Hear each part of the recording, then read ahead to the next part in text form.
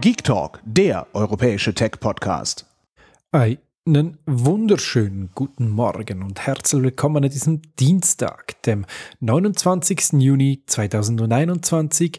Ihr hört die Geek Talk Daily 1034 und heute kommen die folgenden Themen mit rein. Magnete, Lenovo, U, Lego, Tradfree, One UI Watch und Video. Ich beginne gleich mit Magneten. Apple hat sein Support-Dokument dafür ausgearbeitet. Was hat das mit, äh, ja, was hat Apple mit Magneten zu tun? In vielen Apple-Geräten, und man mag es teilweise fast kaum nicht glauben, hat es Magnete drin. Und diese, wie alle Magnete, sollte man nicht in der Nähe von Herzschrittmachern lagern oder legen oder wie auch immer. Und deshalb hat, passt Apple da jeweils die Support-Dokumente an, wenn neue Produkte auf den Markt kommen. Was ist da so dabei, nur um mal so ein Gefühl zu bekommen? AirPod Ladecase, wie auch die AirPods selber, magnetisch, weil rein, raus und so weiter. Apple Watch und deren Zubehör, weil Magnet unten dran laden und so weiter. HomePods und HomePods Mini, weil ja, wo ist da der Magnet? Es hat Magnete drin. Genau, iPad und iPad-Zubehör, Smart Cover, Smart Chick Keyboard etc. Lässt sich alles dran machen. iPhones, ja, vor allem die ab iPhone 12 aufwärts, also die aktuellen Modelle, weil MagSafe, hinten dran Magnet und es hält und gibt Strom rein. Ziemlich schnell. Und dann natürlich auch die Macs, Mac Mini Pro, Air Pro, äh, äh MacBook Pro und so weiter.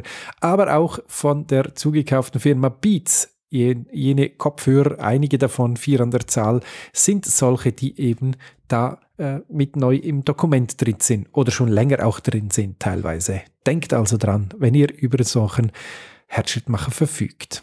Dann hat Lenovo am MWC, was aktuell stattfindet, nicht vor Ort, aber virtuell neue Produkte gezeigt. Letzte Woche haben sie schon, ich hatte eine Folge hier im Geek Talk Daily drin, neue Produkte gezeigt. Heute haben sie noch weiteres vorgestellt und das sind vor allem Laptops. Laptops, die man hinstellen kann, Laptops mit Griff, Laptops, die man aufhängen kann, Laptops, die man auch auf eine Tastatur machen kann, damit sie aussehen wie ein Surface und so weiter und so fort. In verschiedenen Größen und Ausführungen, jeweils mit Android drauf. Wer das will, schaut sich das am besten mal an.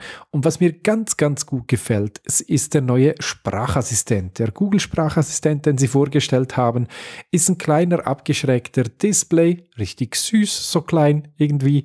Und der hat zusätzlich noch so ein Unterteil, was man dran machen kann, was ein bisschen unschön aus Kunststoff ist, aber eine kleine Nebensache wird sich zeigen, ob das wirklich unschön ist, wenn man es selber mal in den Finger gehabt hat, würde ich doch sagen. Genau, das könnt ihr draufstellen und dann ganz einfach euer Telefon neben drauflegen oder eben vorher genannte ähm, Kopfhörer, die sich über Wireless aufladen lassen. Finde ich herzig und werde ich mir, wenn es möglich ist, auf jeden Fall genauer anschauen. Smart Clock 2 heißt das Teil übrigens mit Dock. Dann gibt es Neuigkeiten zu der U-App. U ist die ähm, Fintech oder die Bankenlösung von der Schweizer Postfinance und von der Swissquote, die da zusammengelegt haben und eine eigene App geschmiedet haben. Ich habe schon mehrfach darüber berichtet. Auch ein Freundschaftscode, wenn ihr da einsteigen möchtet, wo ihr gleich zum Start 500 Swisscoins dazu bekommt. Link wie immer in den Show Notes und der Code natürlich auch. Schluss der Werbung. Warum erwähne ich das? Ja, weil es die App jetzt neben dem Android Store, also Play Store und dem Apple App Store auch für das Huawei Smartphone gibt, nämlich über die App Galerie. Also wer da mit unterwegs ist und sich eine Bank Banken-App hätte zulegen möchten, der kann das jetzt tun. Genau, weiter geht's mit Lego.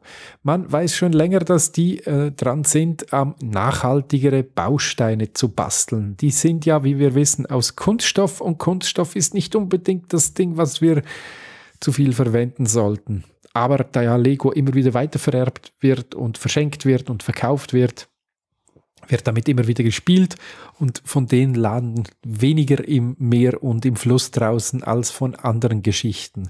Dennoch macht man sich seit eben Jahren Gedanken, was man da so machen könnte, Aktuell sind 150 Mitarbeiter von Lego am Forschen und man hat schon irgendwie was um die 400 Millionen US-Dollar investiert, um eben da neue Möglichkeiten rauszufinden. Über 250 Variationen von PET-Materialien, also PET-Materialien, hat man mittlerweile durch und man denkt, dass man jetzt da gelandet ist, wo es hingehen könnte und hat einen sogenannten Prototyp. Ich bin ja sehr gespannt als großer Lego-Fan mit einem eigenen Lego Instagram-Account, Poughkeepsie Brick, für denjenigen, den es interessiert, gerne mal nachschauen.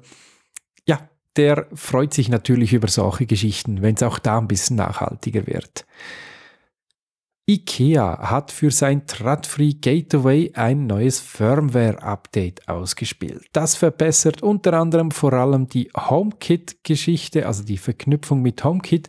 Zum einen seht ihr beim Shortcut-Button, beim Doppelknoppelknopf oder wie er auch im Original hieß, und beim Bewegungsmelder, denn die können jetzt aktuellen den aktuellen Batteriezustand des eigenen Gadgets ausweisen. Sehr, sehr praktisch, wenn man das in Apple HomeKit sieht, wie eben die einzelnen Gadgets da unterwegs sind. Gut, weiter geht's mit Samsung und die haben natürlich um das MWC herum auch ein bisschen was gezeigt und das ist nämlich das nächste Betriebssystem, auf dem das Ganze basiert. Man weiß ja jetzt schon seit einem Weilchen, dass die kommende Smartwatch aus dem Hause Samsung nicht mehr auf Tyson läuft. Ich bin sehr, sehr traurig darüber. Ähm, das kommt im neuen Wear von Google daher und da knallt Samsung seine eigene Oberfläche oben drauf und die hört auf den Namen One UI Watch. Also der Name kommt irgendwoher schon mal bekannt. Und dazu gibt es jetzt ein paar Screenshots und ein paar Videos. Wer also mag, gerne mal reinschauen. Ich bin schon sehr gespannt darauf. Zu guter Letzt habe ich euch noch einen kleinen Videotipp, ein neues Video, was online gegangen ist in den letzten Tagen. Das Huawei Band 6 versus Huawei Watch Fit Video von mir, wo ich die beiden Produkte verglichen habe. Von beiden gibt es auch ein separates Video im Kanal. Jetzt auch noch mit einem Versus Video, also wo ich die beiden gegeneinander antreten lasse und euch aufzeige, was wo wer besser kann oder anders kann. Das war's mit den heutigen Neuigkeiten. Euch wünsche ich einen guten Start in den Tag und wenn ihr mögt, gerne in der nächsten Episode wieder. Bis dann, euer Pokipsi. Tschüss. Hört mehr Geek Talk.